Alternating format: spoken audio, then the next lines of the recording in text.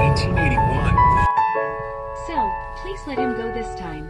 Charlie smiled as he said, It's not that I want to hold it against him. However, he's the one who's existing.